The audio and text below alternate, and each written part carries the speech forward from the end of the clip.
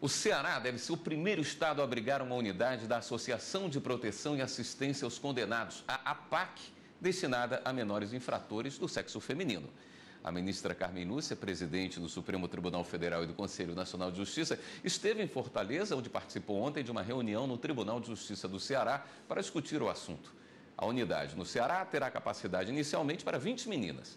A ministra disse que o sistema carcerário atual não é coerente com o que a legislação estabelece e que o Poder Judiciário é responsável por verificar se os apenados cumprem reclusão conforme determina a lei.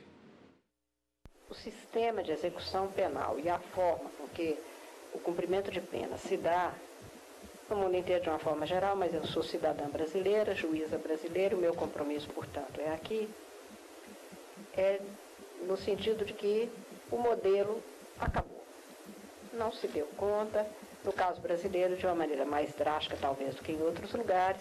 Em 1982, já citei isso várias vezes, o Darcy Ribeiro dizia que se os governantes de então não construíssem escolas, 20 anos depois estariam a construir penitenciárias todos os dias sem dar conta de cumprir o que era necessário. E o vaticínio se cumpriu. Não é um caso de ressocializar, é de restaurar uma situação comunitária em que aquele que errou possa verificar o seu erro, pagar na forma judicialmente estabelecida, junto com a comunidade. Nós temos o planejamento, o programa, quanto se gastará para a implantação, para, estamos em maio, em 1 de maio do ano que vem, nós termos implantada e instalada a primeira APAC para meninas, e que seria aqui em Fortaleza.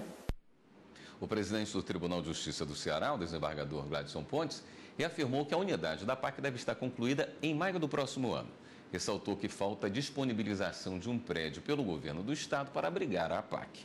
Além do Ceará, Minas Gerais também vai contar com uma PAC voltada para adolescentes do sexo masculino.